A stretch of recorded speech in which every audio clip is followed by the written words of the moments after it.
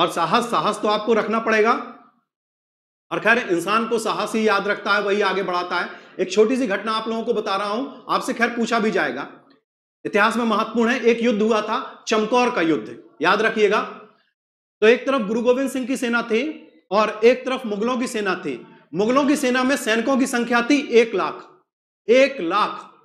और जो गुरु गोविंद सिंह की सेना थी उनकी सेना में जो फाइटर्स लड़ने के लिए गुरु गोविंद सिंह ने भेजे थे, वो मात्र भेजे थे पचास।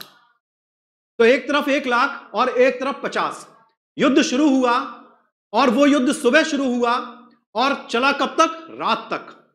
अब आप सोचिए, एक लाख लोगों से केवल पचास लोग लड़ रहे हैं और कब तक लड़ रहे हैं वो लोग? रात तक लड़ रहे हैं। तो सोचिए, क्या फाइट की होगी उन्होंने? क्या उनका साहस होगा? क्या उनका कलेजा होगा? कि एक लाख लोग उन पचास को हरा नहीं पाए।